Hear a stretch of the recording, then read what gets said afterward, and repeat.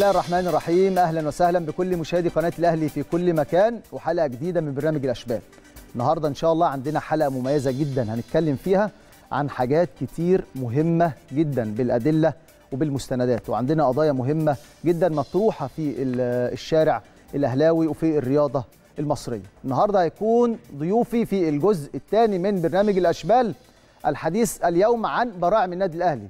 هم مستقبل النادي الأهلي هيكون معايا اثنين من المدربين المحترمين مدربين لهم خبرات كبيرة في البراعم وكمان يعني واجهة مبشرة كابتن حسين شكري والكابتن أحمد حسن دروجبا المدير الفني ل 2008 والمدرب العام لفريق 2007 إن شاء الله وحديث عن مستقبل النادي الأهلي. دايما في النادي الأهلي طول ما عندك براعم قوية إن شاء الله يكون عندك فرق قوية تقدر تكسب بطولات المنطقة بطولات الجمهورية وكمان تكون يعني ذخيرة كبيرة لمنتخبات الناشئين وللفريق الأول. ده هيكون إن شاء الله معانا في الجزء الثاني. لكن هنروح للفريق الأول النادي الأهلي. الفريق الأول دلوقتي اللي على أتم الاستعداد إن شاء الله لملاقاة نهضة بركان مباراة إن شاء الله يوم الجمعة القادمة. هتكون مباراة صعبة بلغة الكورة مباراة صعبة. صعوبة اللقاء إن لقاء الأهلي مع نهضة بركان مباراة وحيدة مباراة بتساوي بطولة. دي صعوبة المباراة. مفيش ذهاب وعودة مفيش فرصة للتعويض. فعلشان كده التفاصيل دايما مهمة في هذه المباريات التي تمثل بطولة. النادي الأهلي على أتم الاستعداد. الحمد لله النادي الأهلي علي معلول موجود في التدريبات. علي معلول سليم بنسبة 100% مشاركته في اللقاء دي معتمدة على موسيماني هو صاحب القرار في هذا الشأن. أيضا حمدي فتحي بنقول له الحمد لله على السلامة. حمدي فتحي برضه بدأ يشارك في التدريبات. النهاردة كان بيجري أشعة علشان يطمن على مدى الالتئام لكن الحمد لله سليم بنسبة 100% إحنا شايفين مع حضراتكم دي أجزاء من التدريبات أو تدريبات النادي الأهلي والاستعداد والاستعداد لملاقاة نهضة بركان. موسيماني اللي أدار يعني عايزين نرجع ورا شوية يعني وكمان كان قبل مباراة نهضه بركان مباراة سان داونز كانت مباراة قوية استعد فيها النادي الأهلي وقدر يصعد للدور قبل النهائي وكمان النادي الأهلي هو الممثل الوحيد في البطولة الأفريقية. النادي الأهلي يعني اللي كنا محتاجينه يلاقي دعم أكبر من كده من المسؤولين في اتحاد الكرة والرياضة المصرية علشان هو الممثل الوحيد وهو الواجهة المشرفة للرياضة المصرية. زي ما إحنا شايفين دي التدريبات النادي الأهلي امبارح كانت التدريبات كانت خفيفة. النهارده بدأ الاستعداد بقى الرسمي والتحضير للمباراة. المباراة إن شاء الله هيكون في موجود فيها جماهير. إن شاء الله جماهير النادي الأهلي هتلاقوها يعني بعدد كبير. دايما جمهور النادي الأهلي في الدوحة بيكون مساند بيكون داعم للفريق. شايفين صورة الكابتن محمود الخطيب. كابتن محمود الخطيب اللي ما بيسيبش الفرقة دايما دايما موجود معاهم. وجود الكابتن محمود الخطيب وأنا قلت الكلام ده قبل مباراة سان داونز وقبل ما اللعيبة بتركب الطيارة وجوده خلاص الرسالة وصلت. الرسالة وصلت للعيبة. النهارده في مسؤولية كبيرة على لعيبة النادي الأهلي. مسؤولية كبيرة علشان الجماهير المنتظراه. الجيل ده جيل محترم جيل بيحب بعضه جيل عندهم ثقة في نفسهم. جيل بيمر بتحديات كبيرة تحديات كبيرة في ضغط مباريات في عدم مساندة من المسؤولين في الرياضة المصرية هنا ولا خاص في اتحاد الكرة في الجدول اللي إحنا بنشوفه. تخيل النادي الأهلي اللي كان هيلعب مباراة قبل مباراة سان داونز وانت رحت شفت هناك مدى الإجهاد اللي ظهر عليه لعيبة النادي الأهلي في الشوط الثاني وشفنا في 22 يوم النادي الأهلي ضغط مباريات بشكل كبير ثمان مباريات. كتر خير اللعيبة دي. دي رسالة من هنا للجماهير المنتظرة اللي بتقول أصل الأداء أصل موسيماني أصل موسيماني الشكل الدفاعي. لا ده جزء من كرة القدم علشان دلوقتي تقدر تكسب لازم تدافع كويس. وكمان في حاجات بتحتم عليك في ظل الظروف. النهارده لما تكون ضغط مباريات بشكل كبير آه سفر رحلات طويلة الراحة اللي اللعيبة مش قادرة تاخدها بشكل كافي ضغط المباريات ده في وقت من الأوقات بيحتم على المدير الفني إنه ممكن يلعب بشكل أو بظروف ما علشان يقدر يطلع بين الهدف اللي هو عايزه. لكن عجبني حاجة تانية حاجة تانية بتمثل النادي الأهلي. حاجة دايما مزروعة في كل الأجيال وفي كل المسؤولين في النادي الأهلي. كابتن سيد عبد الحفيظ بعد المباراة مباشرة وهو في أوضة اللبس واللعيبة كسبانة وبقول لهم خلاص النهارده بنحتفل عندنا بعد ساعات عندنا مباراة مهمة أو بعد أيام مباراة مهمة هي نهضة بركان. لازم نستعد بشكل كبير لازم ننسى الفرحة. دايما البطل بيقلب الصفحة على طول ما بيفرحش كتير. بطولة بطولة السوبر الأفريقي بطولة غايبة عن سبع سنين وده الكلام اللي قاله كابتن سيد عبد الحفيظ للعيبه بطولة هتتكتب في كل تاريخ كل لاعب. النهارده لما إحنا كنا بنقول البطولة التاسعة للعيبة ولازم تقاتلوا علشان تستحقوا أيضا بطولة السوبر. علشان كده مش عايزين نلتف أو نروح للكلام اللي بيقول أصل النادي الأهلي الحمد لله بظروف معنوية كبيرة ودوافع كبيرة ونهضة بركان أصل ماشي في الدوري المغربي يعني الظروف مش ماشية معاه لا دي ظروف مباراة. علشان كده لازم يكون اتم الاستعداد ليها الاستعداد بشكل كبير ليها. التفاصيل الصغيرة مهمة جدا. إحنا شفنا كرات ثابتة الحمد لله ربنا بيوفقنا بيها. لازم التركيز بشكل كبير. فعلشان كده النهارده كل التفاصيل دي مهمة في مباراة يوم الجمعة. وزي ما بقول لحضراتكم جمهور النادي الأهلي اللي دايما بيكون موجود في الميعاد. هيكون موجود إن شاء الله في الاستاد. جمهور النادي الأهلي إحنا شفنا يعني الأثر بتاعه ودعمه الكبير في كأس العالم للأندية. وأنا كنت موجود هناك جمهور النادي الأهلي يعني كان داعم للفريق بشكل كبير.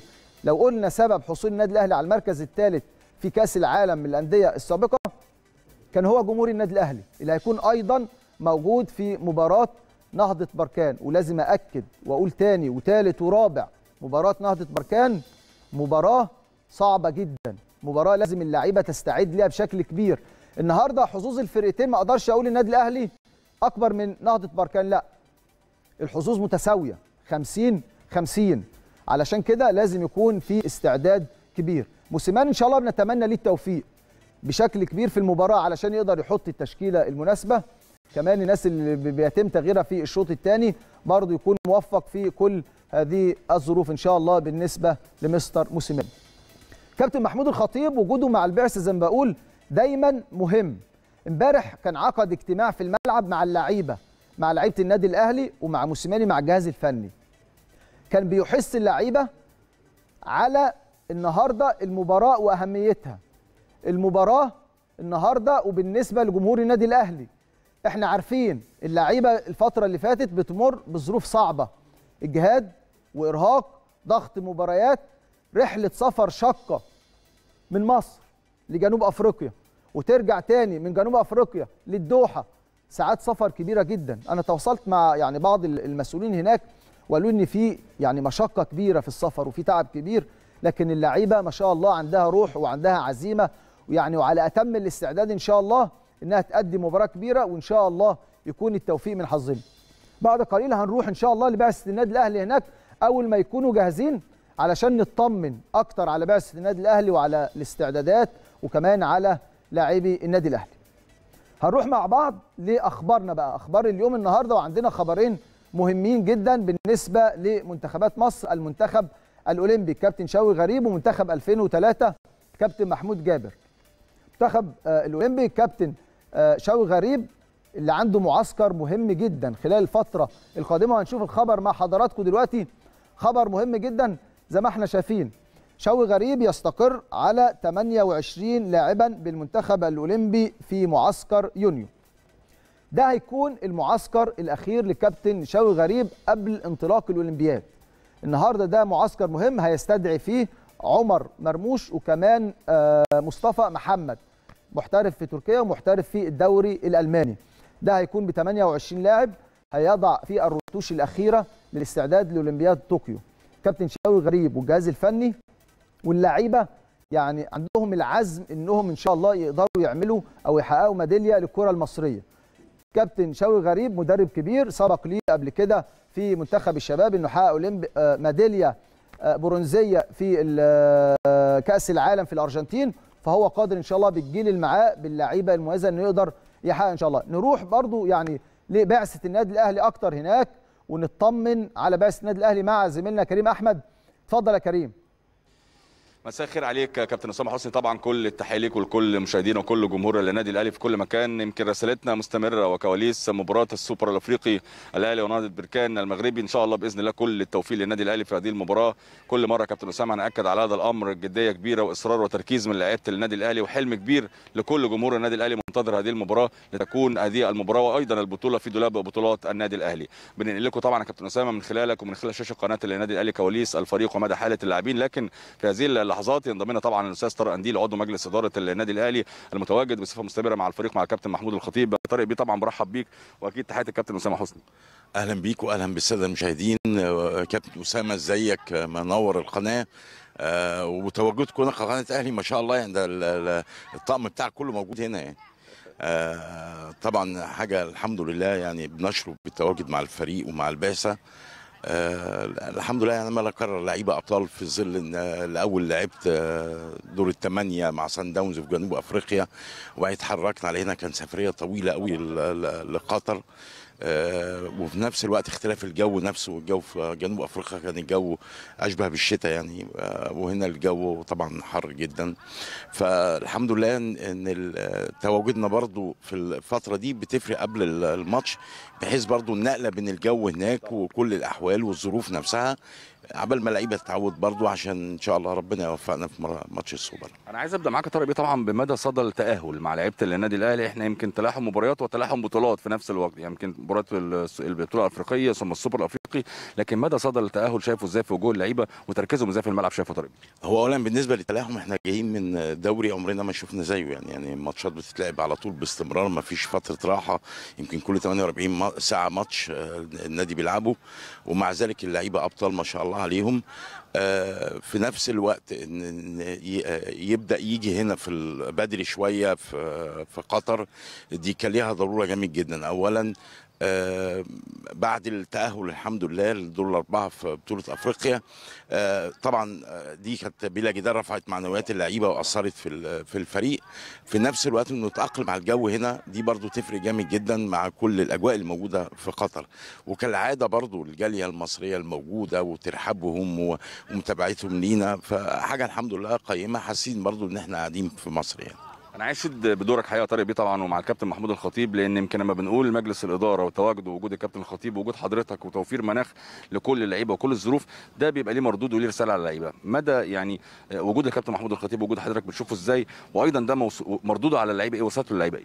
والله ده استمرارية الكابتن محمود الخطيب يعني من ساعة ما جينا المجلس هو بيعمله وخصوصا الفترة الأخيرة مع فريق الكورة اللي أسفرت الحمد لله السنة اللي فاتت على فوزنا ببطولة أفريقيا. يعني لو تفتكر كابتن محمود كان رئيس بعثه للهلال ورئيس بعثه ماتش الهلال السوداني وماتش سان داونز وماتش الوداد المغربي وبعد كده كأس العالم للأندية. وشرفت الحمد لله إن أنا كنت مرافق ليه في في البعثات دي يعني. وهو برضو نفس الحكاية في البطولة الجديدة. طبعا وجود كابتن محمود الخطيب بيفرق فرق غير طبيعي مع الفريق من كل النواحي. كابتن محمود كقيمته كلاعب أسطورة والحاجة الثانية كقيمه إدارية جامدة جدا بيعرف يتعامل مع اللاع- اللاعبين في كل الأحداث. يعني سواء كسبان ماتش أو خارج مرهق أو أو في آه، لخبطة مواعيد في الماتشات زي اللي حصل في الدوري. الدور اللي بيقوم بيه كابتن محمود الحمد لله بيفرق جامد جدا مع الفريق. واولا وأخيرا توفيق ربنا سبحانه وتعالى اللي نرجوه إنه يلازمنا إن شاء الله ونعرف إن شاء الله نحقق بطولة السوبر اللي غايبة عننا بقى لها فترة كبيرة. كان أنت أشرت لنقطة مهمة جدا يا طارق بيه وهو وصول المبكر وتأقلم على الجو. إحنا فعلا كنا جايين من درجة حرارة بتصل سبعة أو ثمانية لكن الدرجات الحرارة هنا مرتفعة جدا وحدة الشمس كمان قوية جدا. إحنا خارج ال- ال- الملعب ويمكن بنعاني شوية يعني بنقول ربنا يكون في عون لعيبة النادي الأهلي لكن الوصول المبكر ده ده مرحلة وفترة لتأقلم اللاعبين. كيف ترى هذا الأمر يا طارق بيه؟ طبعا يعني زي ما بقول لحضرتك الوصول المبكر فرق جدا في حاجات أكتر من حاجة اللي هي النقلة برضو أنت كنت بتلعب في بطولة أفريقيا وجا- وجاي تلعب هنا ماتش السوبر آه، فالنقلة في التحضير نفسها. آه، الحاجة الثانية اختلاف الطقس آه، طبعا يعني أنت جاي من شتاء وبتلعب في صيف. عايز أقول برضو لعيبة بسم الله ما شاء الله عليهم رجالة. يعني كم الانضباط اللي الواحد شايفه ورجوله في تعاملهم مع المواقف من ساعة ما جينا وصلنا جنوب أفريقيا لغاية هنا آه، حاجة تفرح آه، على فكرة يعني في جنوب أفريقيا إحنا ما كناش في فقاعة إحنا هنا في فقاعة. أنت تحس في جنوب أفريقيا وأنت موجود هناك كأنك في فقاعة برضه يعني هو الحمد لله آه، في جانب كبير جدا ملموس من التزام اللعيبة وغيرتهم واحساسهم إن هم عايزين يعملوا حاجة للنادي الأهلي ولنفسهم أنا طبعا مش هكلمك على المعنويات على قد ما هكلمك يا طارق بيه على يعني مش هكلمك قصدي على الفنيات هكلمك على المعنويات. يمكن الفنيات أكيد متروكة لبيتسو موسيماني والجهاز الفني لكن معنويات اللعيبة مرتفعة. شايف وجوههم وشايف الإصرار إزاي وشايف تركيز لعيبة النادي الأهلي إزاي؟ لأن هي مباراة وحيدة يا طارق بيه. البطولة الأفريقية نقدر نعوض 90 دقيقة في 90 دقيقة لكن دي مباراة وحيدة. كيف ترى هذا الأمر أيضا؟ آه الحمد لله المعنويات مرتفعة وكل حاجة وبيتبقى وهو الأهم توفيق ربنا في الماتش. دي اللي إحنا ما بنقدرش نتكلم فيها. هو هو تس... مباراة 90 دقيقة. نرجو إن شاء الله وندعو ربنا إن إحنا ربنا يوفقنا في الماتش ده. إنما من ناحية المعنويات الحمد لله عندهم كم كبير جدا من التوازن النفسي. آه عارفين هم جايين إيه الهدف اللي عندهم. آه ال- ال team كله على بعض. الحمد لله روح الفريق وال teamwork اللي ما بينهم هم والجهاز وكل أفراد البعثة على أحلى ما يكون. وزي ما بقول لحضرتك الأهم بيتبقى بقى هو توفيق ربنا سبحانه وتعالى في الماتش. عارف إن جمهور النادي الأهلي بسند ودعم حقيقي ويمكن رسالته بتوصل للعيبة بشكل كبير جدا يا طارق بيه. وده أمر مهم جدا لأن اللعيبة عارفه وعارفة قيمة المباراة وعارفة قيمة البطولة. بتشوف الأمر ده إزاي وبتشوف مساندة جمهور النادي الأهلي إزاي المعتادة. ده مش أمر غريب على جمهور النادي الأهلي. بص حضرتك يعني إحنا بنلعب بقالنا فترة كبيرة من غير جمهور.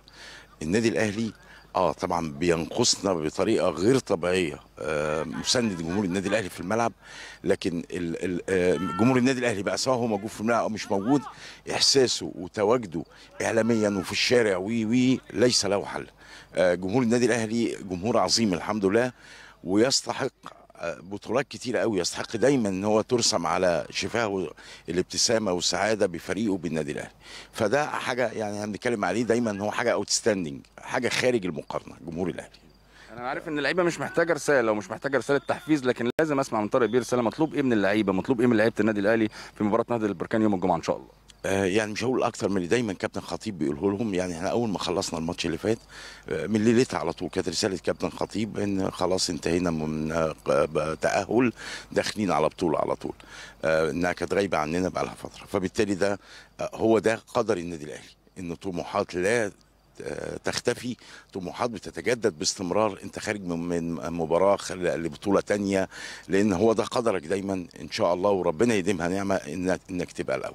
فاللعيبه مدركة الحمد لله الكلام ده كويس قوي. وحاسة بيه إن هو وفي نفس الوقت بتعمل تاريخ لنفسها. ربنا يوفقهم في كده تاريخهم لنفسهم وللنادي الأهلي. شكرا جدا يا طارق موفق. بشكر الاستاذ طارق أنديل عضو مجلس إدارة النادي الأهلي اللي أنا بعتبره دايما وش الخير. دايما لما بيكون مع البعثة ربنا بيكرمنا. أنا هاخد من كلامه كلمة مهمة جدا. أهم حاجة في المباراة القادمة هو توفيق ربنا سبحانه وتعالى. وبرضه بنشكر كل البعثة الإعلامية هناك اللي دايما حطانا في الحدث وبتغطي أخبار الفريق أول بأول. كل البعثة هنا بالنسبة لقناة الأهلي والمركز الاعلامي بشكرهم. شكرا جزيلا على التغطية المميزة. نروح لفاصل. بعد الفاصل مستمرين مع حضراتكم مرة ثانية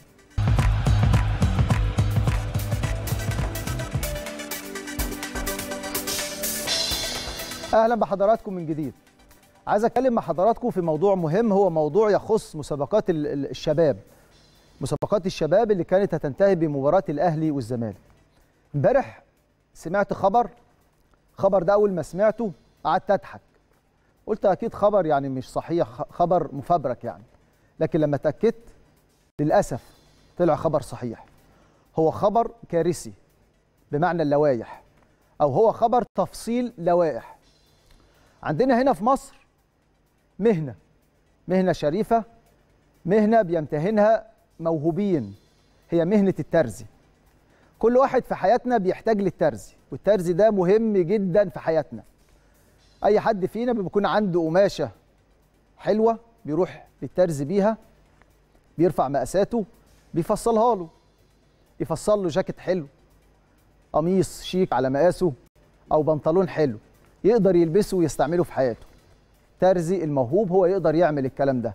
أو عندك حاجة واسعة يقدر يقيفها لك ويظبطها لك على مزاجك وعلى مقاسك وتكون مناسباك دي مهنة الترزي مهنة قديمة ومهنة شريفة جدا وفي حياتنا موجودة.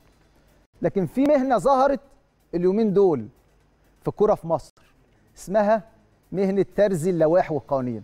يعني إيه ترزي اللوائح والقوانين؟ يعني باخد الورق اللي موجود فيه لائحه اللي الترزي عملها بنفسه وفصلها بنفسه علشان أخدها له علشان يفصل لي اللائحة أو البند اللي موجود في اللائحة على مزاج أنا. ده اسمه ترزي اللوائح والقوانين. ده بقى موجود دلوقتي للأسف. يعني ترزي ترزي يقدر يفصل اللوائح ويلعب لك فيها بالرغم إن هو اللي حاططها من الأول. ونجاح أي مسابقة ونجاح. أي منظومة بيعتمد على اللوائح. بحط بداية المسابقة أو بداية الموسم لوائح علشان تعرف أنا كلاعب أو كنادي أو كجمهور إيه اللي عليا وإيه المطلوب مني وايه اللي عليا. لما أخطئ لما ألعب لما أكسب بطولة كل الكلام ده ده اللي بينظم. وهو اللي حطه الترزي. ترزي اللوائح والقوانين. النهارده بقى بيلعب في اللوائح. افصل لائحة علشان أخدم نادي معين. أو نادي منافس علشان أخدمه لأهداف معينة. عايزين نحكي الحكاية من الأول. الحكاية في مسابقة 99 الفترة اللي فاتت أو تقريبا من يوم 20 4 كان في مباراة أهلي وزمالك اتلعبت في ملاعب الناشئين في مدينة نصر. المباراة انتهت بفوز الأهلي. تساوى الفريقين. الأهلي بقى متقدم بالأهداف ودي كانت المباراة النهائية والأهلي بالمواجهات المباشرة. اللائحة بتقول مواجهات مباشرة وفي أي مكان في العالم دايما المواجهات المباشرة هي اللي بتحسم تحسم اللقاء وتحسم البطولة. علشان اللائحة تحس إن اللائحة مش واضحة كده. الم- المباراة هتتعاد. لكن بعد المباراة حصل أحداث. لعيبة النادي المنافس دخلت الأوضة بدأت في تطاول وفي ألفاظ على رموز وقامات النادي الأهلي. اتحاد الكورة بعت إيقاف اللاعبين. المباراة كانت 20 4 إيقاف اللاعبين اللي خد 8 مباريات واللي أخد 12 مباراة مع غرامات مالية. 12 مباراة. اتحاد الكوره حدد مباراة الأهلي والزمالك إنها تتلعب إمتى؟ 26 5 يعني من 20 4 ل 26 5 يعني بتتكلم في شهر وأسبوع.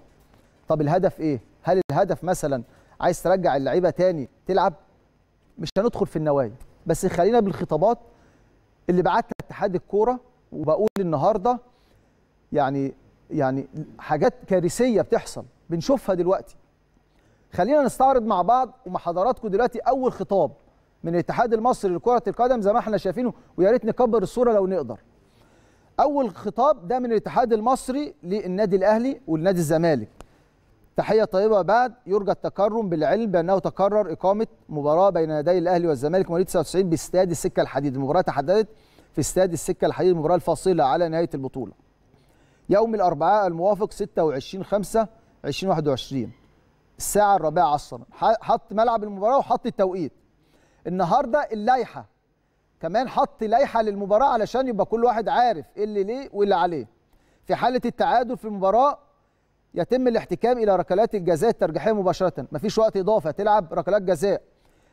تكليف فرع القاهرة لكرة القدم باتخاذ كافة الإجراءات التنظيمية للمباراة. أمن وإسعاف وملاعب وحماية مدنية وكله. النهارده المباراة تم توجيهها لمنطقة القاهرة. وتواصلت أنا مع المسؤولين في منطقة القاهرة وجالنا الخطاب وكنا على أتم الاستعداد على علشان مباراة الأهلي والزمالك.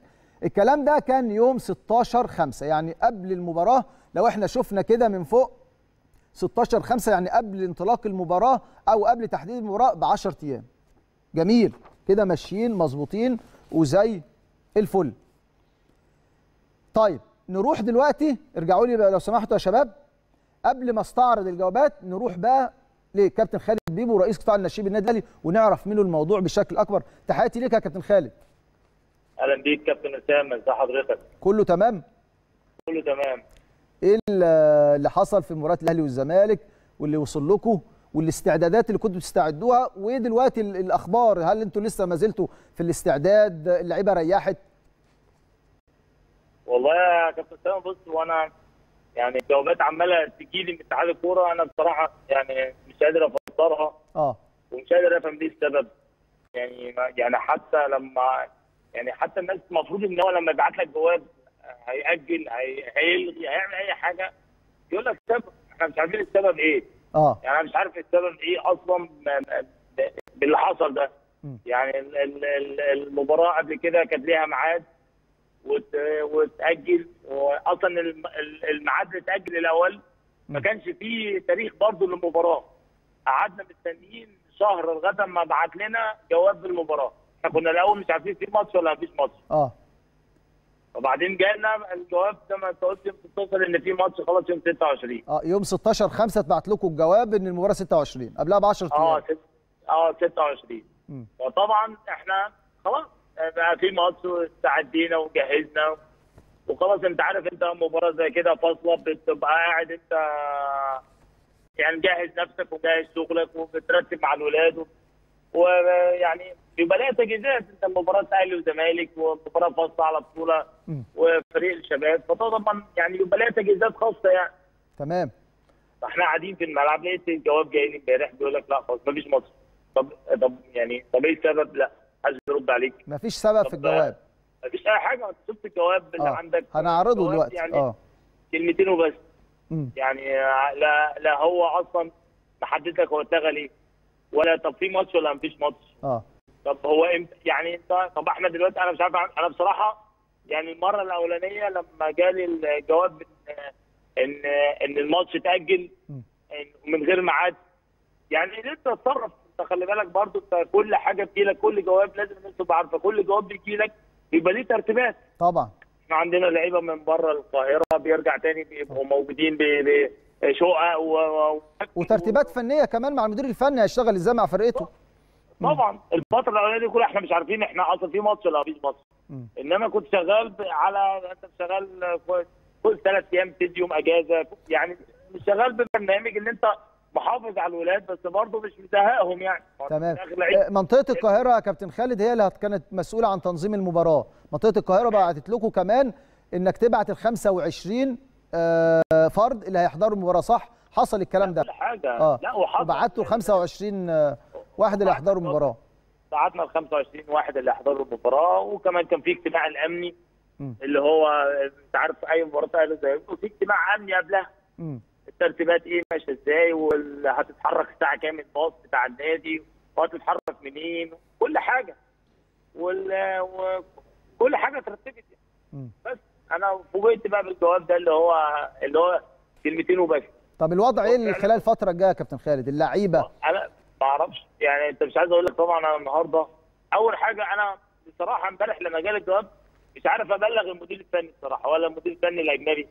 الراجل المدير الفني الأجنبي هو هو مستغرب طبعا. هو آه. مفيش كده. يعني قال لي أنا ما شفتش الكلام ده يعني الماتشات بتتلغي من غير سبب. ومن غير ما تتحدد لها ميعاد. ومن غير ما تقول أصلا هتتعب ولا مش هتتعب تاني. فطبعا الموضوع هو بالنسبة له هو مش مصدق الكلام ده. أنا بقعد أشرح له يعني بقعد يعني أقول له ما طبيعي بيحصل إنما هو طبعا هو مش مصدق طبعا أنا طبعا. دلوقتي كمان أنا فعلا مش عارف أبلغ الناس أقول لهم إيه يعني اللعيبة النهارده جاي بيكلمني تقول لي يا كابتن طب هنعمل إيه؟ يعني هنروح فين؟ هنتمرن؟ طب هنقعد في البيت؟ طب هتلعب ماتش ولا لأ؟ فأنت برضو أنا مش عارف أرد على حد. عارف أقول لهم حاجة يعني مش عارف أنا أنا بجد. حتى الكابتن عمرو النهارده بيكلمني يقول لي طب يعني هنعمل إيه؟ رايحين فين؟ البرنامج يعني هحط برنامج على أساس على في ماتش يا, كابتن؟ خالد دلوقتي كان جالكم برضو من ضمن الخطابات الموجهة قبل المباراة برضو قبل المباراة بحوالي أربع أيام إن إيقاف الكابتن عمرو أنور والإيقاف بتاعه ساري ومدرب حراس الكلام ده كله كان واضح في الخطابات اللي بعتها اتحاد الكورة آه طبعا يعني آه. إحنا يعني إحنا طبعا الجواب كان واضح إن الإيقاف ساري بتاع كابتن عمرو ده آه. نهاية الموسم بالغرامة. واللعيبة اللي كانت موقوفة ابتعت لي نص الخطاب نص الجواب ان أنا اللعيبة دي ما ينفعش تشارك إلا لما تخلص الإيقاف بتاعها في مسابقتها. كلام واضح. يعني كلام ما فيهوش يعني ما فيهوش كلام تاني. يعني كلام واضح جدا. خلاص. إحنا إحنا جاهزين نلعب ماتش. هو من الواضح إن في في في تخبط طبعا ما فيش يعني طب في حاجة ثانية يا كابتن خالد؟ يعني دايما عشان تخطط صح بيكون في رؤية حوالي 3 4 سنين في مسابقات الناشئين. هل أنت النهارده كرئيس قطاع الناشئين عارف السنة الجاية تلعب مسابقات إيه ولا ما تعرفش؟ ألو؟ كابتن خالد؟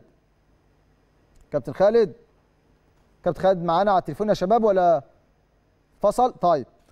يعني كابتن خالد بيبو يعني وضح الرؤية. اللعيبة كانت مستعدة قبل المباراة ب 48 ساعة إلغاء المباراة بدون أي أسباب. عايز أستعرض مع حضراتكم الخطاب الثاني برضو إحنا استعرضنا الخطاب الأول ان الاتحاد المصري لكرة القدم يوم 16 5 قال للنادي الأهلي والزمالك في مباراة يوم 26 في ملعب السكة الساعة 4 بلوائح المباراة. ال- الخطاب الثاني جاي من منطقة القاهرة للمدير التنفيذي للأهلي والزمالك. النهارده يسعدني أن أهدي سيادتكم أرق تحيات رئيس وأعضاء مجلس إدارة فرع القاهره لكره القدم وتحياتي الشخصية بالإشارة إلى الموضوع آه، عليه وب- وبناء على تعليمات الاتحاد المصري لكرة القدم بتاريخ 16 5 2021 التي أسندت مسؤولية التنظيم إلى فرع القاهرة لكرة القدم وتطبيقا للاجراءات التنفيذية. نرجو موافاتنا بكشف أسماء 25 فرد المسموح لهم بدخول المباراة من كل نادي وذلك في موعد اقصاء يوم الاثنين 24 5 قبل المباراة بيومين. النهارده منطقة القاهرة عملت شغلها يعني مظبوط وبعتت للأهلي والزمالك علشان تشوف عدد حضور المباراة ال 25 طب نروح مرة تانية للكابتن خالد بيبو. يا كابتن خالد. يا كابتن سامي. النهارده. علشان آه علشان تقدر تنظم أو تقدر يعني مستقبل الكورة تقدر تخطط لثلاث أربع سنين قدام. هل النهارده انت وحضرتك مسؤول عن قطاع الناشئين بالنادي الاهلي؟ تعرف المسابقات اللي هتلعبها أو هتقدر تشتغل عليها للسنة الجاية آه هيكون عندك مواليد 99 هل عندك مواليد 2001 عندك مواليد 2000 جالك خطاب بالكلام ده ولا لسه الدنيا إحنا شغالين. بس السنة دي؟ يعني بنحاول نلملم اوراقنا والله يا كابتن سامي لغاية دلوقتي انت عارف إحنا في النادي الاهلي بنشتغل بره رسمي. انما قالوا وعلى الموقع الرسمي بتاع الاتحاد وعلى الكلام ده كله أنا ما ما نقدرش ناخد بيه أو نحط عليه أساس شغلنا. أنا لغاية دلوقتي لغاية اللحظة دي أصلا كمان أنا لغاية دلوقتي مش عارف العب ماتش 26 ولا لأ. أعرف العب إيه السنة الجاية؟ عشان ما أعرف العب 26 لا ولا لأ. يعني عندك حق والله. يعني يعني ماتش بقاله شهر ونص مش عارف حد مش عارف ألعبه. آه. فده طبعا بالنسبة لي الموضوع يعني صعب. موضوع صعب. إنما أنت. لو سؤالك أنا لغاية دلوقتي ما جاليش أي حاجة رسمي تقول السنة الجاية هلعب إيه. أو هلعب آه، إيه إيه المنطقة وإيه الجمهورية وإيه المناطق يعني أنا مش عارف الدنيا لغاية دلوقتي لسه ما ما ما عنديش أي بلان واضح لل- لل- للموسم الجاي من تخطيط من الاتحاد المصري لكرة القدم عشان ما كذاب يعني طيب هل دلوقتي النهارده قطاع النشيب النادي الأهلي ممكن يبعت خطاب لاتحاد الكورة آه، يقول له بلغني النهارده بموعد المباراة إذا كانت هتتلعب ولا لأ؟ والله بص هو ولا ده لسه؟ كله. الملف كله طبعا موجود في النادي وبيدرس كويس قوي. وإحنا انت عارف إحنا بنرد بمؤسسي. يعني أنا ما أقدرش أتكلم في حاجة إلا لما يعني القرار يطلع لي وإن أنا أتكلم فيه يعني. إنما آه. لغاية دلوقتي أنا ما عنديش أي بلان واضح حتى لل- للرد على الخطاب اللي جه من ال- من الاتحاد يعني. وإحنا بنقول لكم يا كابتن خالد ربنا يكون في عونكم في الوضع الحالي. يعني الشكل آه. الكارثي اللي إحنا بن- بنمر بيه دلوقتي في الكورة في مصر وعدم تنظيم وتفصيل لوائح فاحنا بنشكر حضرتك شكرا جزيلا وربنا يوفقكم خلال الفترة القادمة. عايز أستعرض مع حضراتكم برضو هروح للخطابات مرة أخرى. النهارده منطقة القاهرة لما بعتت للنادي الأهلي النادي الأهلي بعت كشف بحضور ال 25 فرد نستعرض برضو مع حضراتكم كل الخطابات اللي اتبعتت من اتحاد الكورة منطقة القاهرة للنادي الأهلي والنادي الأهلي كان بيرد ده بالنسبة لمنطقة أو فرع القاهرة يوم 16 5 الجواب أو الخطاب اللي بعتوه للأهلي والزمالك علشان يستعجلوا الرد فيه إن كل نادي يبعت ال 25 فرد المسموح ليهم بدخول المباراة وده يوم 24 5 نروح للخطاب اللي بعديه.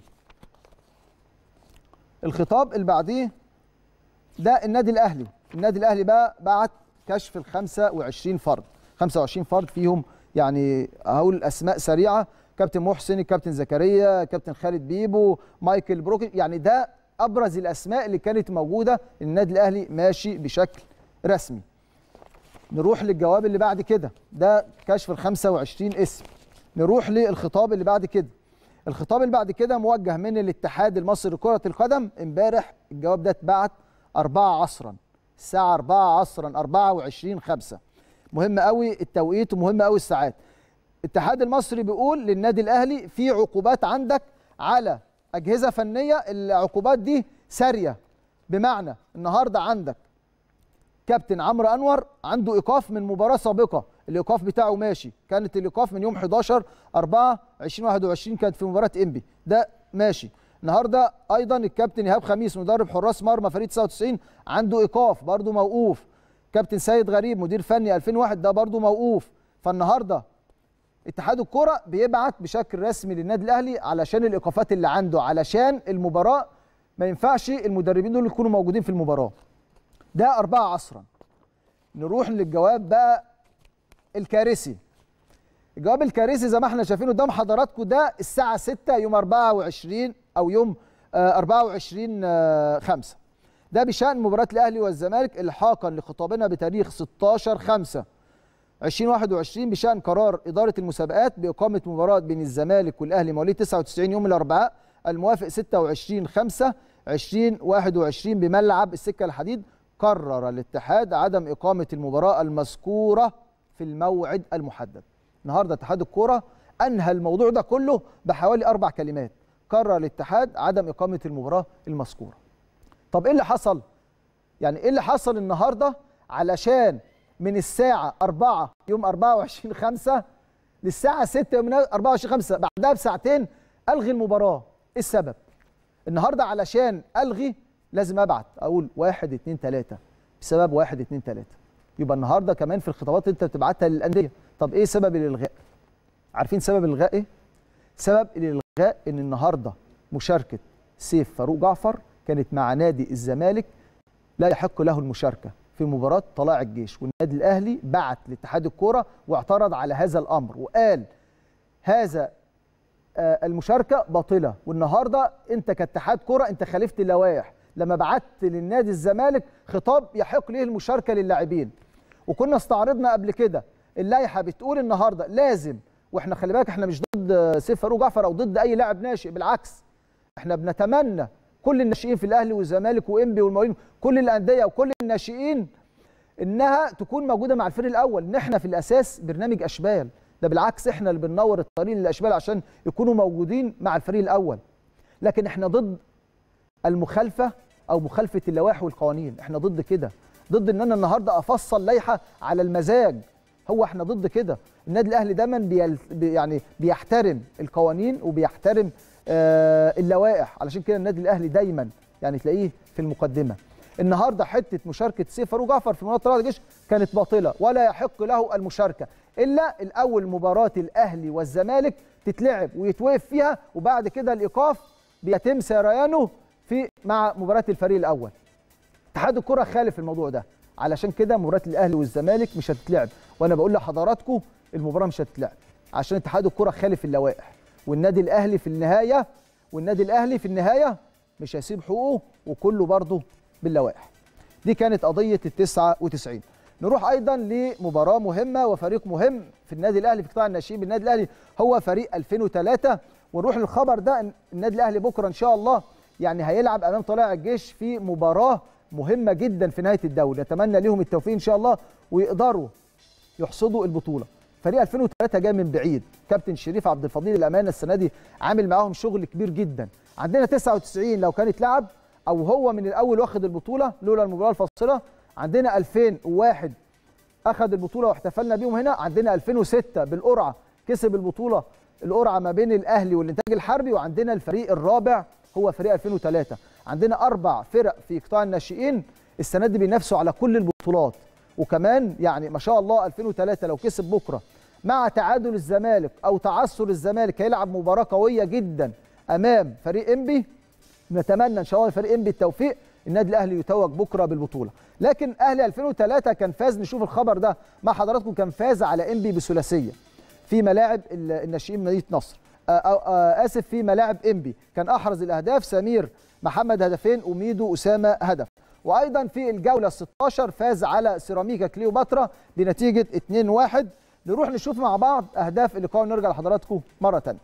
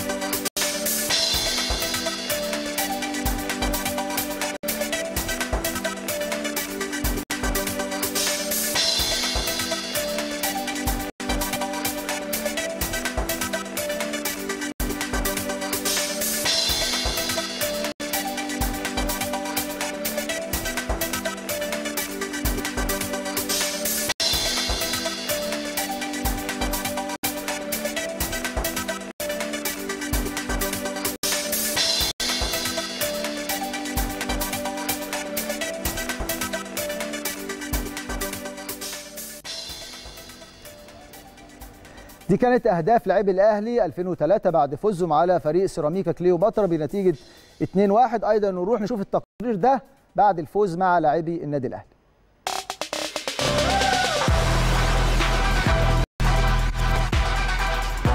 مكسب مهم قربنا من الزمالك فرق نقطتين إن شاء الله فاضل ماتشين.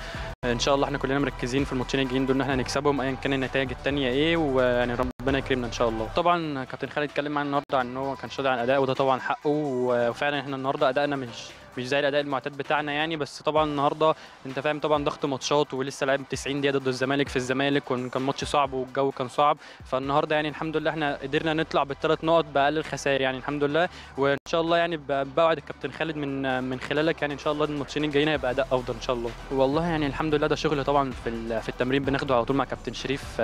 شغل على طول جوه ال 18 وإن الهاف لازم يضم ويشتغل على الجون كتير. فيعني الحمد لله ده مجهود يعني في التمرين والحمد لله ربنا كرمني النهارده بالجون ده. أنا بدأت أجري و... وأتأهل يعني إن شاء الله إن أنا أرجع الملعب. قريب يعني كمان شهر شهرين كده بإذن الله أبقى متواجد مع الفريق. وهو يعني شغال في الجيم كويس يعني مع كابتن حسن وكابتن كريم وكابتن طارق وإن شاء الله ربنا يسهل يعني بإذن الله. كنا متعادلين في الأول المباراه كانت كنا كسبانين 1-0 بعد كده هم تعادلوا معانا في المباراه صعبت شوية بس الحمد لله رجعنا في في النتيجه تاني وجبنا جون والماتش خلص 2-1 الحمد لله يعني كسبنا. وتاني حاجة أنا أيوه بدأت الموسم ما, ما بشاركش كتير بس الحمد لله يعني اجتهدت وبدأت بقالي تقريبا 10 ماتشات وبلعب يعني الحمد لله. هو الواحد لما بيبقى بعيد بيبقى زعلان أكيد بس ما بخليش الزعل يأثر على مستواه في الملعب. فببقى راكن الزعل على جنب وبحاول مستواي كويس في الملعب وهو ده اللي خلاني ألعب بعد كده. ان كان مستواي كويس في التمرينات. طبعا إحنا بنحفز بعض وناخد الماتش بماتش وهنركز في كل ماتش وهنقاتل في كل ماتش إن شاء الله لحد ما ناخد البطولة. كابتن خالد بيقول طبعا مش على الأداء وطالبنا إن إحنا هنركز في الماتشات الجاية أكتر من كده وإن شاء الله هيكون اللي جاي أحسن.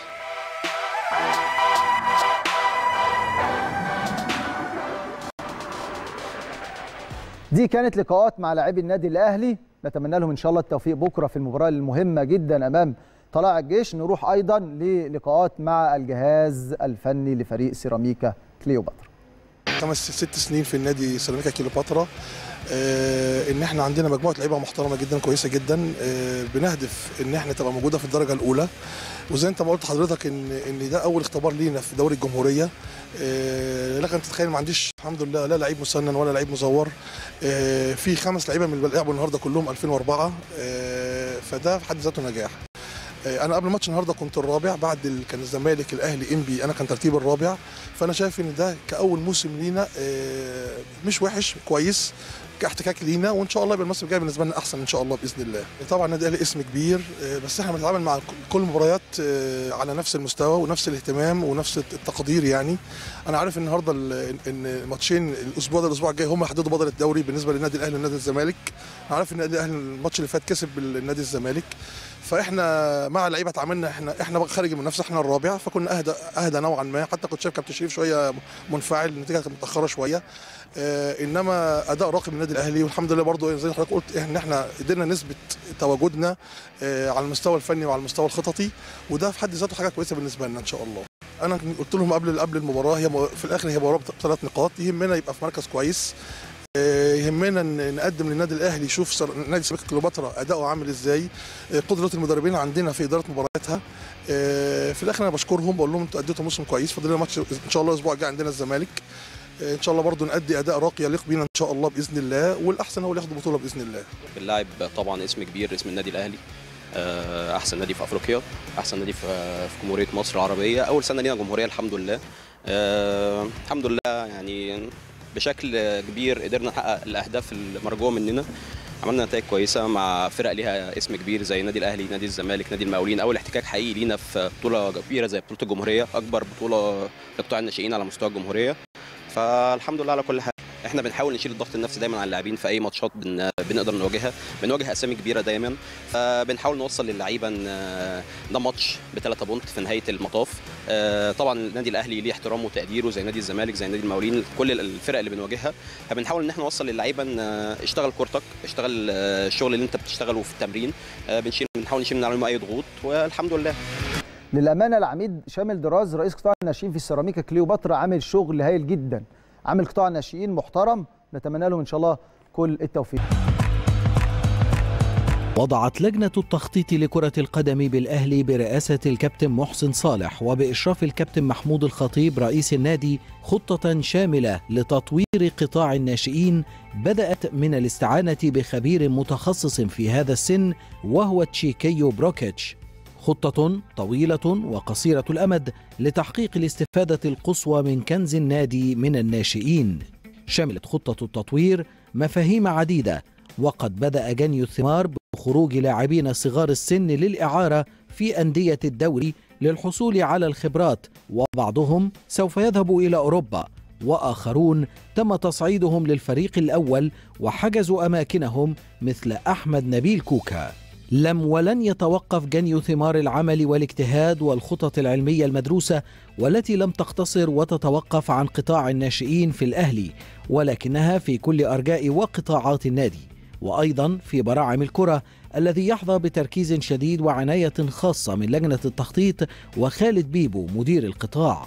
اليوم في الأشبال معنا نجوم الاهلي السابقون حسين شكري مدير فني مواليد 2007 وأحمد حسن دروجبا المدرب العام لفريق مواليد 2009 للحديث عن براعم الأهلي ومواهبنا الصغيرة. نجوم بكرة في القلعة الحمراء.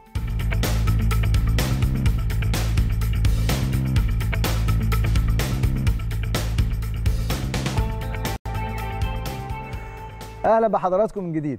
علشان دايما تطمن على مستقبل النادي الأهلي لازم تطمن على الأساس علشان تبني عمارة. وتطلع براحتك كذا دور تطمن على مستقبل النادي الأهلي لازم تطمن على الاساس النادي الأهلي هو براعم النادي الأهلي. لو عايز تتفرج بقى على المتعة في الكورة والمواهب والمهارات لازم تنزل تتفرج على مدرسة الكورة. مدرسة الكورة ما شاء الله عندنا لعيبة وعندنا مواهب وأيضا كمان عندنا مدربين عندهم خبرات كبيرة في التعامل مع السن ده. إن السن ده محتاج تعامل خاص. إزاي توصل لولد عنده تسع سنين وعنده 10 سنين وعنده 11 سنة إزاي توصل لتفكيره علشان تقدر توصل له المعلومة بشكل سهل؟ زي المدرس بالظبط في المدرسة. النهارده يعني في البداية برحب يعني باثنين مدربين كبار معايا النهارده في براعم النادي الأهلي. نبتدي بالكابتن حسين شكري منورنا وشرفنا كابتن حسين. ربنا يعزك. أنا بتشرف إن أنا موجود مع حضرتك طبعا. كابتن أحمد حسن دروجبا. دروجبا مشيها دروجبا صح؟ ولا يهمك. منورنا يا كابتن. ربنا يخليك يا كابتن أسامة. طبعا أنا مبسوط إن أنا معاك وبتمنى لك التوفيق ومع الكابتن حسين طبعا. وبتمنى التوفيق لكل أسرة البرنامج. إن شاء الله. نبتدي بقى يا كابتن حسين. طمنا في البداية بقى على براعم النادي الأهلي. يعني الحمد لله رب المستقبل. العالمين. دايما مستقبل النادي الأهلي مشرق. عندنا لعيبة ما شاء الله مميزين من كل النواحي الفنية والمهارية. وأنت عارف إن حضرتك برضو إن إحنا في ال في ال في الشغل في النادي الأهلي ما بنشتغلش كورة وبس. إحنا بنشتغل دايما الكورة ودايما جنبيها الحاجات كتيرة جدا. زي ما طبعا الكابتن كان لما عمل معانا في بداية الموسم اجتماع وكده. كان أكد برضو على ال- على العنصر بتاع الولاد في المراحل التعليمية. يعني لازم الولد برضو زي ما بيدي حقه في في الملعب وفي الكورة والكلام ده كله لازم يكون إن هو متفوق دراسيا. جانب بقى الحاجات اللي, اللي انت عارف حضرتك برضو اللي هي المبادئ بتاعت النادي الأهلي والكلام ده كله. إزاي إن انت بتطيع المدرب إزاي إن انت بتنام بدري إزاي إن انت بتحاول إن انت تاكل كويس إن انت بتلعب في النادي الأهلي انت غير أي حد تاني. طبعا. في الولد الصغير. إن انت لازم تكون دايما متفوق حتى في دراستك حتى في النادي الأهلي ما بيقبلش انت عارف غير ال- ال- المركز الأول سواء صغيرين أو كبار. ففي حاجات كتيرة جنب الكورة برضو انت بتحاول إن انت تديها لل- للولاد. بحيث إن أنت لما بيطلع عندك عنصر زي ما حضرتك تفضلت وقلت في ال- في البداية إن أنت عايز تبني عمارة فلازم الأول ان أساس. الأساس بالظبط إن أنت تعمل أساس كويس عشان كل وأنت طالع تبقى أنت مستريح ما عندكش مشكلة في حاجة. فالأساس عندنا في النادي الأهلي البراعم آه لازم يبقوا متأسسين كويس يبقوا واخدين كل العناصر اللي بتهيئ اللي بتهيئهم إن هم يطلعوا إن شاء الله بأمر الله إن هم يبقوا لاعيبة مميزة آه، في الفريق الأول بأمر الله. كابتن أحمد أول سنة ليك في التدريب ولا سبق ليك؟ لا أنا اشتغلت من أربع سنين كده اشتغلت في قطاع الناشئين في نادي المقاولين. كنت ماسك مسكت 2006 و2003 و2004 كويس. آه، خدت معاهم بطولة دوري. آه، أخدت برضو بطولة دولية في اليونان. آه، ده- دي تاني سنة يعتبر مع النادي الأهلي. مم. دي الموسم الثاني الموسم الثاني اشتغلت قبل كده 2006 و2003 و2004 اعمار سنية كبيرة. لكن الشغل في البراعم الولاد الصغيرة مختلف شوية. إيه الاختلاف ما بين السن الكبير والسن الصغير؟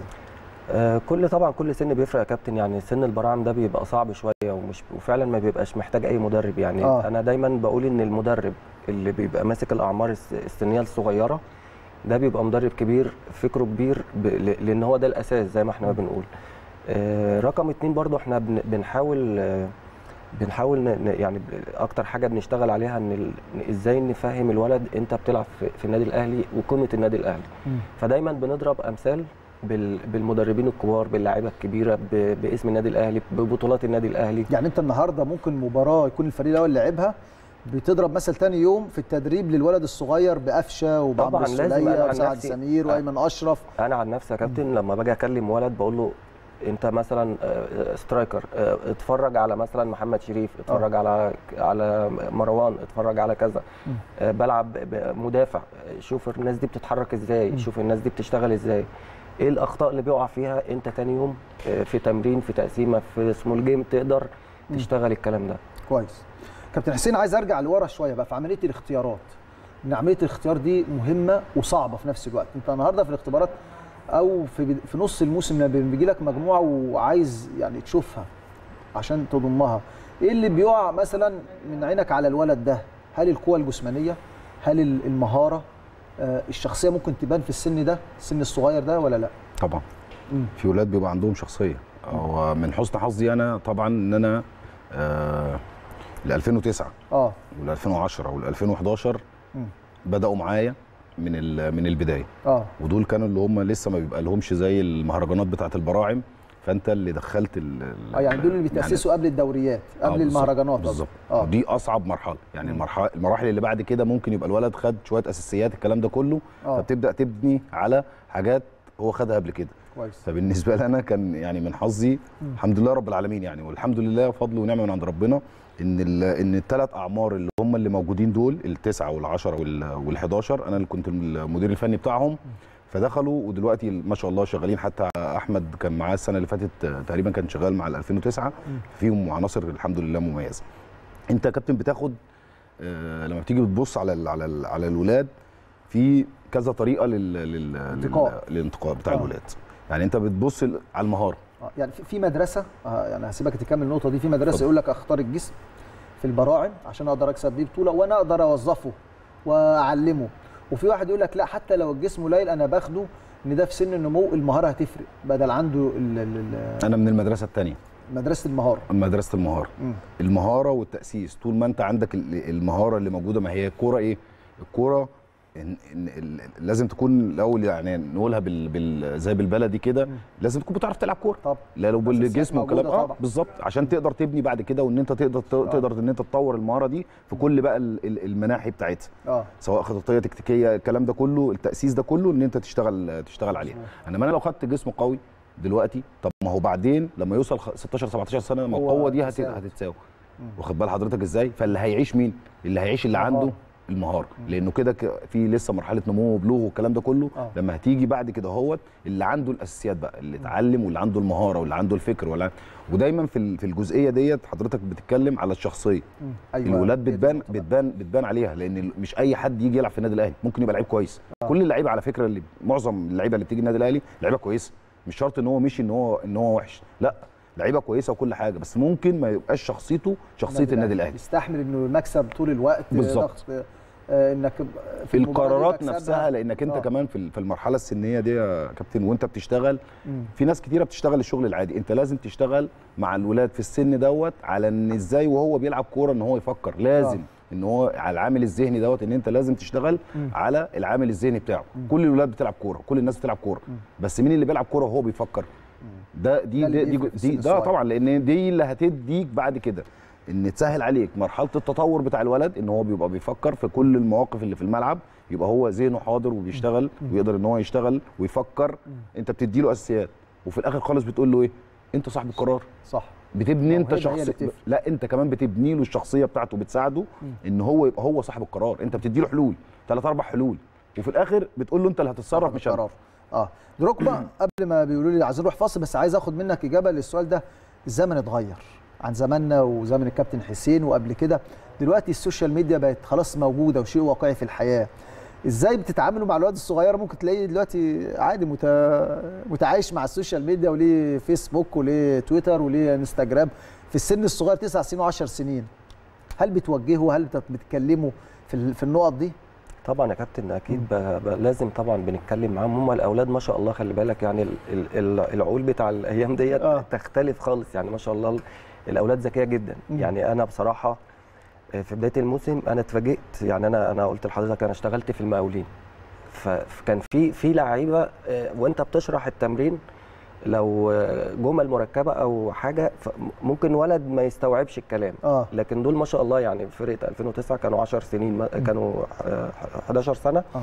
لما تيجي تشرح لولد قبل ما تعمل نموذج إحنا دايما وصلت إحنا المعلومه الأول يا كابتن كان كنا بنستنى المدرب يعمل نموذج النموذج. ينزل الملعب ويعمل النموذج. آه.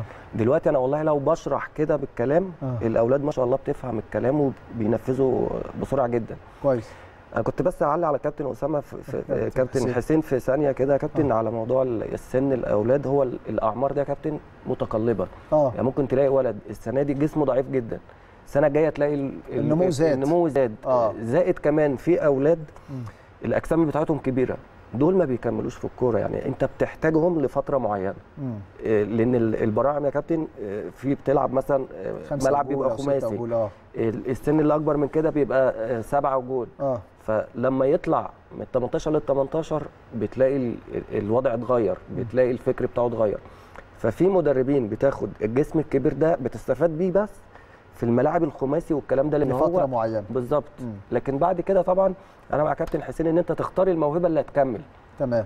وأنا معاكم بتفق معاكم إن الموهبة هي اللي بتستمر. بالظبط. والمهارات هي ال- اللي بتستمر. عايز أسألكم عن دور بروكيتش بقى المدير الفني الأجنبي وهو ما شاء الله عامل شغل هايل في قطاع الناشئين بالنادي الأهلي. عايز أسأله بقى عن دوره آه، يعني تقولوا لي دوره كمان في البراعم هاخد الإجابة ولكن بعد الفاصل.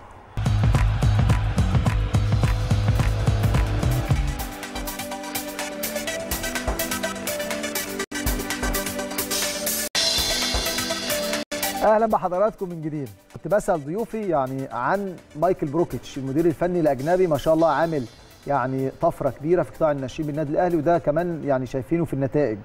99 يعني لولا المباراة الفصيلة اللي مش عارفين هتتلعب السنة دي ولا السنة الجاية ولا بعد 10 سنين كان النادي الأهلي هياخد البطولة.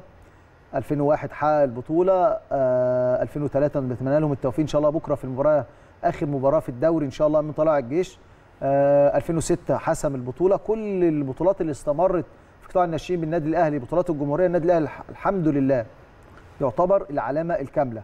هنسألهم بقى عن براعم النادي الأهلي ودوره كمان مع البراعم من مدرسة الكورة. بيكون دور مهم. كابتن حسين دور مايكل بقى. مع البراعم بينزلوا لكم التدريب في توجيهات للمدربين في توجيهات للعيبة الاجتماعات المستمرة دايما مع مايكل بروكش لا هو في الحقيقة راجل آه، اولا على المستوى الإنساني بيتعامل باحترام جدا كويس بيتعامل كويس جدا. آه، وبعدين في ميزة كمان تانية إن آه، المحاضرات بتاعته يعني أنت م- أنت مش جايب حد مثلا ماسك القطاع الف- الفني لل- للبراعم أو للناشئين. أنت كأنك جايب محاضر أجنبي من بره لأن إحنا كل فترة في محاضرات دايما مع بعض سواء مع القطاع الناشئين فوق أو مع البراعم. بنقعد مع بعض لو في أسئلة لو في حاجات هو جديدة هو بيديها لنا طرق اللعب آه عامل حاجة اسمها المبادئ إن أنت إزاي كل فرقة المبادئ إن أنت إزاي تبقى ال ال التمركز بتاع الولاد في الملعب إزاي بشكل معين بيبقى بشكل معين الكلام ده كله إن هو يسهل عليك ويسهل على اللعيبة اللي هي اللي موجودة إن أنت تلعب فيما معنى الكلام إن كرة حديثة. آه. يعني كور ال ال ال طرق اللعب وال- وال- والكلام ده هو كمان كان عايز يوحد طرق اللعب على قد ما يقدر في في الفترات. آه، دلوقتي الحراس عندنا حراس المرمى بيبقوا جزء من ال من ال من اللعب آه، بنحاول إن بيحاول طبعا على قد ما بيقدر إن هو آه. يوصل لنا كل جديد في الكورة أو كل حاجة جديدة بت- بتتلعب بره أو الناشئين بره أو آه. القطاعات البراعم بره إنها تبقى موجودة في النادي الأهلي كويس. المحاضرات كمان إحنا معظم المدربين كلها اللي موجودة دايما بنشوف فيه لقطات دايما وهو بيحاضر ال- المدربين. بالظبط. دي باستمرار. مم. المحاضرات دي باستمرار باستمرارية على طول يعني موضوع المحاضرات والكلام ده كله. وبعدين ما بيبخلش على حد في حاجة لو حد عطل في أي حاجة أو حابب إن هو يستفسر عن أي حاجة. دايما مكتبه مفتوح للكل.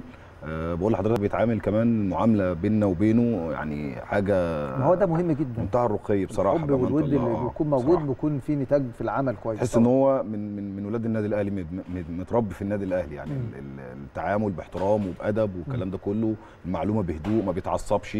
حتى إحنا لما بنتعصب هو اللي بي يعني بي بيكلمنا لأ اهدى آه أنا ما أنا ما يعني سهل علينا في الأمور في البداية خالص. قال لك أنا مش أنا النتائج بالنسبة لي مش مش مهمة. أنا المهم ان انت طرق اللعب والحاجات اللي إحنا بنديها للولاد والاستفاده بتاعت الولاد ان إحنا ننشئ ناشئ كويس أو برم كويس ان هو يطلع يفيد النادي الاهلي ده بالنسبة لي الاهم من اي حاجة ثانية كويس. ده بالنسبة للبروكتش يا كابتن أحمد. طب بالنسبة لخالد بيبو بقى. كابتن خالد بيبو عامل دور مهم جدا السنة دي. كمان يعني آه، في نظام في القطاع في توفير إمكانيات كبيرة كمان السنة دي.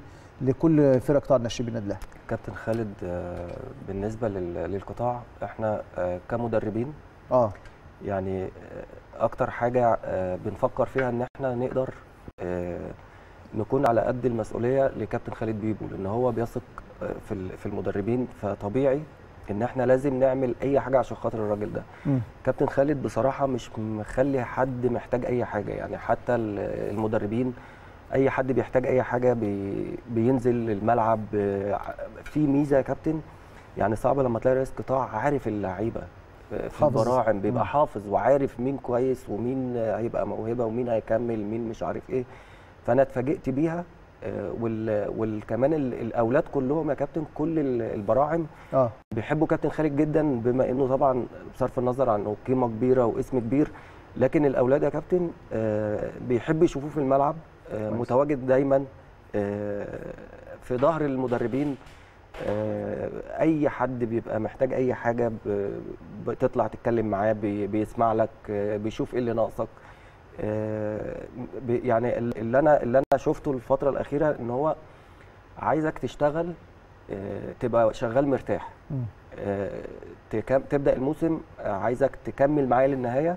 وفي نفس الوقت آه، برضو في حتة إن إحنا آه، الإمكانيات كلها موجودة كل. حاجة متاحة يعني موفر هو الأهلي النادي الأهلي موفر كل الإمكانيات بن- أنا شايف دلوقتي وإحنا بنستعرض دلوقتي يعني ما شاء الله الملاعب على أعلى مستوى أدوات التدريب الشكل حاجة. العام الزي الموحد الدنيا كل حاجة متاحة يا كابتن بصراحة مكان م- متاح ليك كل حاجة آه، مهيأ ليك إن أنت آه، تعمل أي حاجة أنت عايزها مم. أنا عن نفسي ببقى نازل التمرين مستمتع يعني أي حاجة موج... أي أدوات كل الأدوات طبعا موجودة لبس بانتظام آه، الشكل العام للمدربين للاعبين فكله ده لا، بصراحة وفي ميزة كمان يا كابتن يعني حتى خلي بالك السنة اللي فاتت. في أولاد من ال من ال- فريق الشباب بدأوا يشاركوا في في الفريق الأول ودي مش يعني مع احترامي بقى لها كتير قوي يا كابتن أسامة يعني تبقوا مبسوطين وأنتوا شغالين في القطاع لما تشوفوا لعيبه من القطاع طلعت طبعا يا. كابتن يعني خلي بالك أنت أنت واحد من من أولاد النادي الأهلي. ومن من الأشبال اللي طلعت وكملت آه، كان في برضه وائل رياض في ناس كتير أنا مش عايز أنسى حد. فجت فترة كده يا كابتن ما بقاش قلت حد شوية. جدا ال- الخمس ست سنين اللي فاتت الدنيا دي قلت فبدأ كابتن خالد بيشتغل على دي إن نقدر يطعم النادي الأهلي بال بال بال باللاعيبه الشباب إنها تقدر تبقى موجودة لأن خلي بالك يا كابتن أسامة ما حدش هيعرف قيمة النادي الأهلي غير ولاد النادي الأهلي اللي هم متربيين فيه خلي بالك برضو ده شيء مهم لكن هنقول برضو في لعيبة جت النادي الأهلي وقدرت تيشيرت النادي الأهلي وقيمة طبعاً، النادي. الأهلي ولو بنتكلم عن الجيل الحالي دلوقتي شوف ديانج كأنه بيلعب في الناشئين الأهلي شوف علي معلول يعني إحنا بنضرب بس طبعاً. مثالين كابتن أسامة آه. اللي بيخش النادي الأهلي بيتطبع بطبع النادي الأهلي طبعا. ما بيبقاش العكس مم. ودي الميزة اللي في النادي الأهلي والحمد لله ربنا يديمها علينا يعني دايما إن دي اللي بتخلي النادي الأهلي إن هو مستمر دايما مم. اللي بيخش حتى لو في حاجة هو بره اتعلمها غلط أو حاجة زي كده أول ما بيخش بتحس إن هو ولد من ال من ال من كابتن. خالد بس عايز أضيف على كابتن دروجبا حاجة آه في ال- مش في البراعم بقى في ال في ال في القطاع السنة دي. في تواصل أجيال جميل جدا معمول عمله كابتن خالد ومستر مايكل إن كل الفرق اللي موجودة بتلاقي ال- الصغير بيطلع مع الكبير. يعني لو هتلاقي ناس من عملية ال التصعيد. 2001 ب- بالظبط. من ال 2001 بيلعب مع 99 هتلاقي من ال 2003 بيلعب مع ال 2001 هتلاقي من ال من ال 2006 بيلعب مع ال 2003 فخلاص كل اللعيبة. وكل الأجهزة عارفة بعض. بالظبط آه. بالظبط. فدي حاجة كمان بتخلي في الفه أكتر بين اللعيبة وبين بعضها في يعني كل فرقة كان زمان مثلا ممكن يبقى الفرقة دي مختصة بذاتها لوحدها. لا دلوقتي بقى في دمج بعد الدمج كمان بتاع ال- ال- ال- الفرق اللي اتعمل آه. إن التصعيد دوت ده حاجة مهمة وبيبقى حافز للفرق. للولاد اللي هم الصغيره إن هو عايز يبقى كويس علشان يتصعد للفرقة اللي أعلى. طيب عايز يعني هنطلع لفاصل بس قبل الفاصل اسالك واخد الرد بعد الفاصل. الصعوبات بقى اللي بتقابلكم في المهرجانات. عملية التسنين عملية ولاد وده موجود. ولاد أكبر من أولاد. أو من لاعبين موجودين وده بيؤثر على المواهب الموجودة. عايز أشوف يعني مدى الصعوبات اللي بتواجهكم في المهرجانات البراعم. هعرف الرد ولكن بعد الفاصل.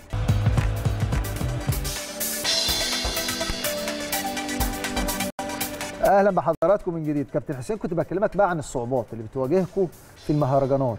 موضوع التسنين والتزوير. طبعا يعني هو مش تزوير على قد إن تسنين. في المهرجانات بتلاقي ولاد كبيرة بتلعب في المهرجانات. أكيد بيكون في لجان من منطقة القاهرة لكن ده بيأثر على المواهب اللي موجودة. دي مشكلة المشاكل يعني مم. من أكبر المشاكل اللي أنت تقابلها موضوع التسنين وال- والتزوير.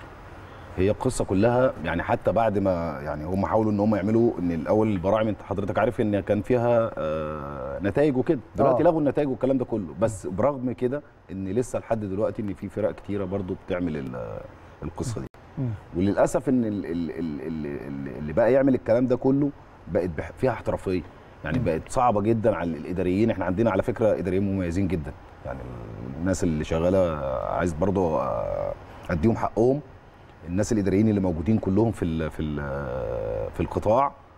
سواء في القطاع الناشئين أو في البراعم بصراحة قايمين بشغلهم على قد على ما يقدر يعني أنت بتلاقي واحد مثلا ممكن بيروح أسوان أو بيروح سوهاج أو بيروح عشان يسأل على مدرسة آه بالظبط عشان يسأل على مدرسة ولد طبعا. ويروح له البيت ويروح له المنطقة والكلام ده كله فأنا عايز أحييهم برضو بصراحة لأن هم برضو ليهم دور كبير جدا.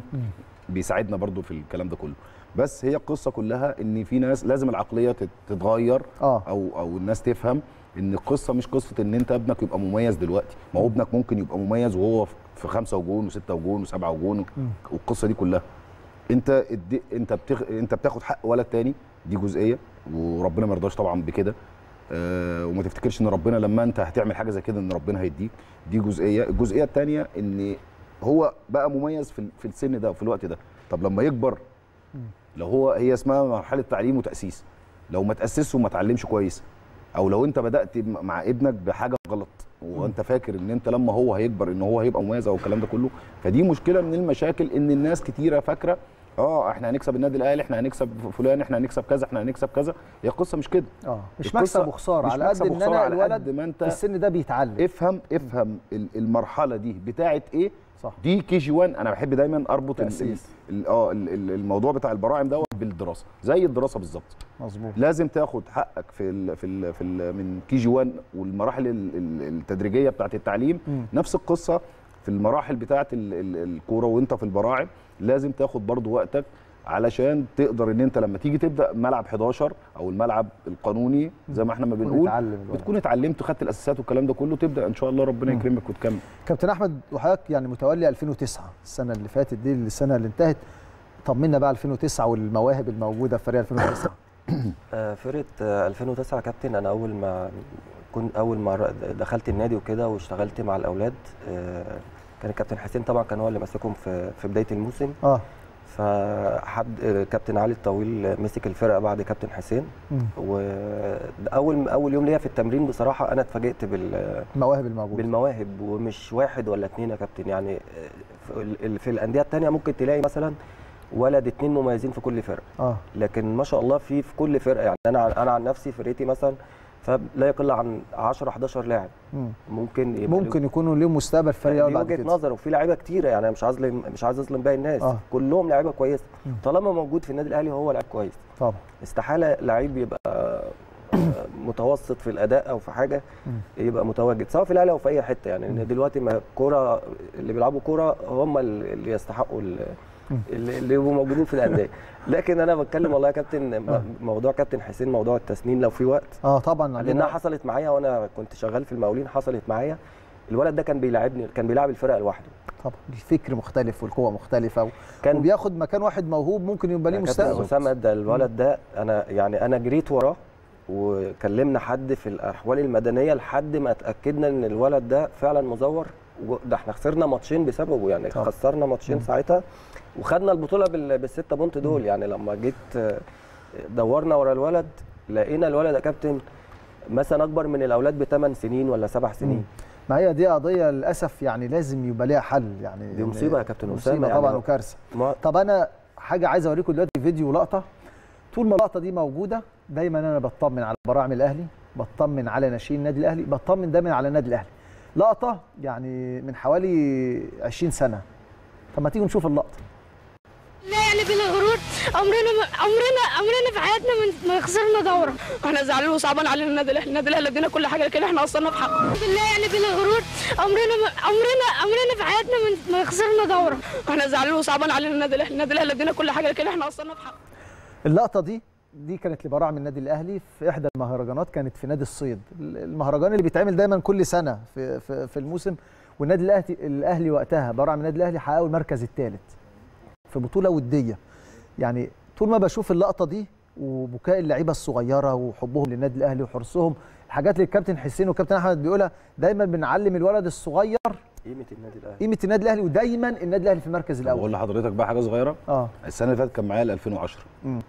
كسبانين 12 ماتش وبنلعب الماتش ال 13 مم. كان تقريبا مع المصرية للاتصالات تعادلنا واحد واحد.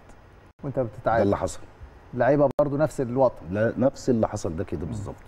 وخدتهم على جنب وهديتهم وبتاع. اتعادلنا إحنا ما خسرناش. مم. أنا بقول لحضرتك إحنا كسبانين 13 12 ماتش أو 13 ماتش متواصلين. 2010 موجودين. حضرتك ممكن تتأكد من الكلام ده. اتعادلنا ماتش واحد واحد مع ال مع حلوة. الاتصالات والكورة مش عايزه يعني عارف انت اليوم أيوة. اللي هو بيبقى مش- مش يومك آه. والكورة عم مش عايزة تخش والكلام والعارضة و... مم. وخرجوا الولاد نفس القصة كده. شافك تأثرت باللقطة دي. 20 آه بصراحة. آه. آه، جدا. لقطه مهمة جدا. إسلام عادل يا كابتن ده يعني من أبناء النادي الأهلي وهو حاليا في في القطاع ال- في قط- في قطاع نادي مصر المقصه مقص حاليا. مقص آه شغال في الجهاز الفني آه أنا قلت. قلت لك يا كابتن اللاعب لازم بيبقى عارف المدرب لازم يعرف اللاعب قيمة النادي آه. وقيمة النادي الأهلي. وخلي بالك يا كابتن أسامة ال- الأولاد هم عارفين عارفين قيمة النادي. يعني حتى لو من غير ما نتكلم أو حاجة الولد عنده غير على التيشيرت غير آه. أنا أنا اشتغلت في الأكاديمية يا كابتن في زايد مع كابتن أمير عبد الحميد آه لما كنا بنشارك في بنلعب ال- ال- الأكاديميات التانية كنا دايما نكلم الأولاد إحنا النادي الأهلي يعني شايف أكاديمية آه، ما أعتقدش إن في أكاديمية أصلا تفكر إن أنت معروفة معظم الأكاديميات بتبقى بيزنس آه. والكلام ده لكن أنت لما تبقى في أكاديمية وبتفهم الولد إن برضه أنت بتلعب في النادي تلعب. في النادي الأهلي أنت لابس تيشيرت النادي الأهلي. فدي مش قليلة طبعا. أخيرا يا كابتن حسين علشان وقت برنامجنا كلمة منك لعيبة النادي الأهلي عندنا مباراة مهمة جدا يوم الجمعة مع نهضة بركان مباراة السوبر الأفريقي. طبعا زي زي آه، ملايين الأهلاوية اللي موجودين بنتمنى إن شاء الله التوفيق. وعارفين طبعا الضغوطات وتلاحم الماتشات والإرهاق اللي هم فيه وإن هم خارجين من جنوب أفريقيا عشان ينزلوا ترانزيت في أسوان عشان يروحوا الدوحة الكلام ده كله. بس طبعا أنت عارف إن وأنت أكيد يعني لعبت برضو عارف في النادي الأهلي آه. كل المبررات دي وكل الكلام ده كله ما بيفرقش وهم زي ما زي ما إحنا عارفين ان ان ان, إن, إن الكلام دوت ما, بي ما بيفرقش مع ال مع ال مع اللعيبة أو الجهاز بتاع النادي الأهلي. بنتمنى لهم إن شاء الله بأمر الله التوفيق وإن ربنا يبقى ي- ميسر لهم الأمور إن شاء الله بإذن الله. وإن شاء الله البطولة بتاعت بتاعت الرجالة بتاعت النادي الأهلي ويقدروا إن هم يجيبوا كأس السوبر ويكملوا وإن شاء الله هناخد بطولة أفريقيا. بأمر الله رغم الظروف الصعبة اللي بيمر بيها الفريق السنة دي. طبعا ظروف. ما بيمرش بيها أي فريق في العالم. لا صعب جدا إن أنت. تلعب كل 3 4 أيام على فترات كمان طويلة مش يدي يعني مش يا دوب مثلا فترة قصيرة وخلاص. لا إحنا بقى لنا فترة طويلة جدا بنلعب كل 72 ساعة. فده يعني حاجة الله يكون في عون اللعيبة والجهاز اللي موجودين ربنا يوفقهم إن شاء الله. إن شاء الله. كابتن أحمد أنت شاركت قبل كده في السوبر الأفريقي؟ آه خدنا كان 2009 كابتن كان 2009. آخر بطولة ليا خدتها مع النادي الأهلي وشاركت أنا في المباراة ده كان آه، كنا بنلعب نادي الصفاقسي التونسي. آه. كسبنا 2-1 كان فلافيو نور آه. المكسب كلمة منك بقى لعيبة النادي الأهلي و... طبعا بتمنى التوفيق طبعا وبتمنى التوفيق لكل اللعيبة والجهاز الفني وإن شاء الله طبعا زي ما حضرتك عارف آه، وحضرتك خدت بطولات كتير طبعا وشاركت في في اللحظات ديت لعيبة النادي الأهلي بتبقى دايما بتلعب على البطولة. آه، هم عندهم آه، بما في الكفاية وعارفين إن دي بطولة كبيرة وبطولة غالية وبتمنى التوفيق طبعا والنادي الأهلي بصراحة آخر المباريات ما حدش يقلق لأن ال- المباراتين سان داونز النادي الأهلي أدى بشكل كويس خاصة المباراة الثانية إن شاء الله يبقى يوم النادي الأهلي والتوفيق. والنادي الأهلي شرفتنا ونورتنا يا كابتن أحمد. ربنا يخليك يا كابتن أسامة. شرفتنا ونورتنا يا كابتن حسين. شكرا ربنا يعزك يا كابتن أسامة. بكده وصلنا لنهاية حلقتنا النهارده. بشكر ضيوفي اللي كانوا مشرفيني ومنورين النهارده في برنامج الأشبال الكابتن حسين شكري والكابتن أحمد حسن دركبة. كل التوفيق إن شاء الله للاعبي النادي الأهلي يوم الجمعة. يقدروا يكسبوا إن شاء الله. كل التوفيق ليهم أمام نهضة بركان في مباراة صعبة نتمنى فيها التوفيق للاعبي النادي الأهلي والجهاز الفني. نشوف حضراتكم الأسبوع اللي جاي حلقة جديدة من برنامج الاشبال شكرا وإلى اللقاء.